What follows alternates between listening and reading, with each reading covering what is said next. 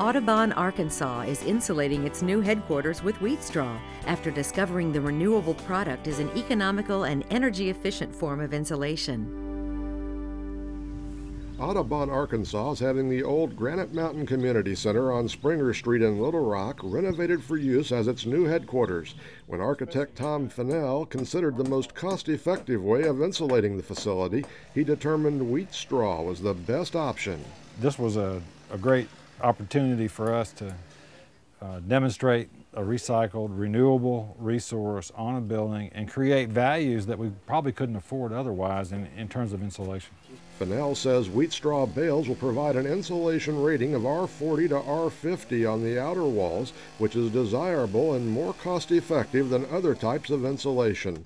Audubon, Arkansas wants the facility and its landscaping to be a model for other similar projects. This is indeed a unique project, but a project that will have lots of um, learning and training opportunities for, say, architects or other contractors to come here and see some of the uh, principles that have been uh, deployed here in the renovation of this building. This may be one of the first times a local farmer contributed to an urban construction project as the wheat straw was obtained from a Lonoke County producer.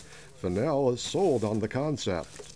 The interest in this project for us is to demonstrate and for the contractor to be comfortable with this construction method so that it'll become more widespread because uh, everybody wins in this situation. Arkansas farmers, Arkansas, the public, uh, Audubon, the client, uh, everybody wins. And so uh, we want to see this happen again.